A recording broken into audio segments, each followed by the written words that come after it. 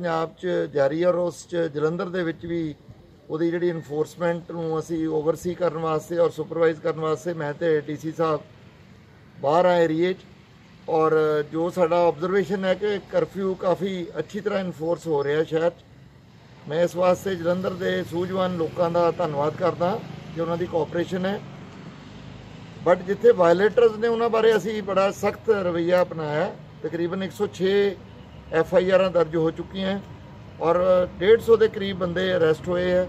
ਤਕਰੀਬਨ 66 ਗੱਡੀਆਂ ਅਸੀਂ ਇੰਪਾਊਂਡ ਕਰ ਚੁੱਕੇ ਹਾਂ।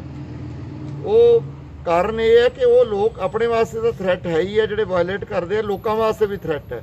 ਸੋ ਉਸ ਚੀਜ਼ ਨੂੰ ਅਸੀਂ ਬਿਲਕੁਲ ਬਰਦਾਸ਼ਤ ਨਹੀਂ ਕਰਨਾ ਔਰ ਬੜਾ ਸਖਤੀ ਨਾਲ ਉਹਨਾਂ ਨਾਲ ਡੀਲ ਕੀਤਾ ਜਾਊਗਾ। ਔਰ ਜਿਨ੍ਹਾਂ ਦੀ ਗੱਡੀ ਇੰਪਾਊਂਡ ਹੋ ਜਾਂਦੀ ਹੈ, ਹੁਣ ਸਾਰੇ ਉਹਨਾਂ ਨੂੰ ਪਤਾ ਲੱਗਦਾ ਫਿਰ ਵੀ ਇਹਦਾ ਕੀ ਫਾਇਦਾ ਹੁੰਦਾ ਜਾਂ ਨੁਕਸਾਨ ਹੁੰਦਾ, ਬਾਹਰ ਘੁੰਮਣ ਦਾ। ਬਾਰ-ਬਾਰ ਕਹਿਣ ਦੇ ਬਾਵਜੂਦ ਵੀ ਪੇਰੈਂਟਸ ਨੂੰ ਮੈਂ ਫੇਰ ਅਪੀਲ ਕਰਦਾ, ਬੱਚਿਆਂ ਨੂੰ ਕਿਉਂ ਅਲਾਉ ਕਰ ਰਹੇ ਆ ਉਹ? ਕਾਫੀ ਜ਼ਿਆਦਾ ਨਾਕਿਆਂ ਦੇ ਉੱਤੇ ਬੱਚੇ ਫੜੇ ਜਾਂਦੇ ਆ ਜਿਹੜੇ ਘਰੋਂ ਮੋਟਰਸਾਈਕਲ ਲੈ ਕੇ ਏਮਲੈਸਲੀ ਘੁੰਮਣ ਵਾਸਤੇ।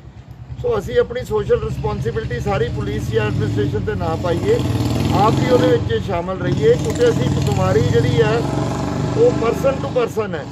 ਇੱਕ ਇਨਸਾਨ ਨੂੰ ਦੂਸਰੇ ਇਨਸਾਨ ਤੋਂ ਹੋ ਰਹੀ ਹੈ। ਹੁਣ ਜਿਹੜੀ ਨਵੀਂ ਗੱਲ ਆਈ ਹੈ, ਉਹ ਕਹਿੰਦੇ ਵੀ ਜਿਹੜੇ ਬੰਦੇ ਨੂੰ ਕੋਈ ਸਿੰਪਟਮ ਨਹੀਂ, ਉਹ ਵੀ ਬਿਮਾਰੀ ਫੈਲਾ ਸਕਦਾ ਸੋ ਇਹੋ ਜਿਹੇ ਮਾਹੌਲ ਦੇ ਵਿੱਚ ਅਸੀਂ ਆਪਣੇ ਬੱਚਿਆਂ ਨੂੰ, ਪਰਿਵਾਰ ਨੂੰ ਕਿਸ ਰਿਸਕ 'ਚ ਪਾ ਰਹੇ ਔਰ ਕਾਦੇ ਵਾਸਤੇ? ਇੰਨੇ ਸੂਝਵਾਨ ਲੋਕ ਹੈ ਪੜ੍ਹੇ ਲਿਖੇ ਲੋਕ ਹੈ ਆਪਣੇ। ਫਿਰ ਵੀ ਇਹ ਗੱਲ ਜਿਹੜੀ ਸਾਹਮਣੇ ਆ ਰਹੀ ਹੈ ਬਾਰ-ਬਾਰ, ਮੈਂ ਤੁਹਾਨੂੰ ਸਾਰਿਆਂ ਨੂੰ ਫੇਰ ਅਪੀਲ ਕਰਦਾ ਕਿ ਆਪਣੇ ਘਰਾਂ 'ਚ ਰਹੋ ਔਰ ਇਹਨੂੰ ਸਪਰੈਡ ਨੂੰ ਰੋਕੋ। ਜਿਹੜੇ ਐਡੇ ਐਡੇ ਵੱਡੇ ਫੈਸਲੇ ਲਏ ਗਏ ਕਰਫਿਊ ਦਾ ਲੋਕਡਾਊਨ ਦਾ ਗਵਰਨਮੈਂਟਸ ਵੱਲੋਂ ਸਾਡੇ ਮਾਨਯੋਗ ਮੁੱਖ ਮੰਤਰੀ ਸਾਹਿਬ ਨੇ ਕਰਫਿਊ ਦਾ ਲਿਆ। ਸਾਰੇ ਲੋਕ ਸ਼ਲਾਘਾ ਕਰ ਰਹੇ ਇਸ ਗੱਲ ਦੀ ਕਿ ਬੜਾ ਇਮੀਡੀਏਟ ਸਟੈਪ ਲਿਆ। ਬਾਹਰਲੇ ਮੁਲਕਾਂ 'ਚ ਇਸ ਗੱਲ ਦਾ ਕਈ ਜਗ੍ਹਾ ਕ੍ਰਿਟਿਸਿਜ਼ਮ ਹੋ ਰਿਹਾ।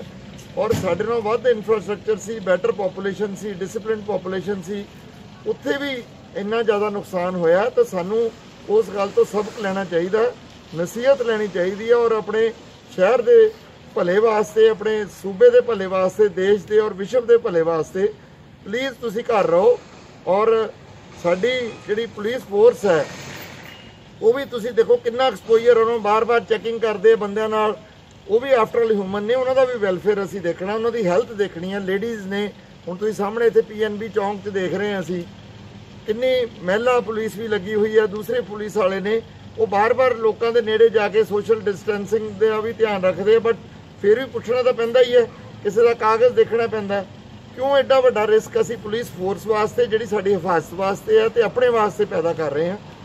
ਸੋ ਮੇਰੀ, ਤੁਹਾਡੇ ਰਾਹੀਂ ਸਾਰੇ ਪਬਲਿਕ ਨੂੰ ਸੂਝਵਾਨ ਲੋਕ ਨੇ, ਜਲੰਧਰ ਦੇ, ਔਰ ਬੜਾ ਮੰਨਿਆ ਜਾਂਦਾ ਕਿ ਬੜੇ ਲਾਅ ਅਬਾਈਡਿੰਗ ਨੇ ਔਰ ਹੈ ਵੀ ਹੈ ਮੈਜੋਰਟੀ ਉਹ ਜਿਹੜੇ ਵਾਇਲੇਟਰਸ ਨੂੰ, ਉਹ ਆਪਣੇ ਆਪਣੇ ਘਰਾਂ 'ਚ ਕੰਟੇਨ ਕਰੀਏ ਔਰ ਸਾਡਾ ਸਾਥ ਦਿਓ, ਤੋ ਸੋ ਦੈਟ ਅਸੀਂ ਇਸ ਜਿਹੜੀ ਔਖੀ ਘੜੀ 'ਚੋਂ ਬਿਲਕੁਲ ਸਾਫ਼ ਸੁਥਰੇ ਨਿਕਲ ਕੇ ਆਈਏ।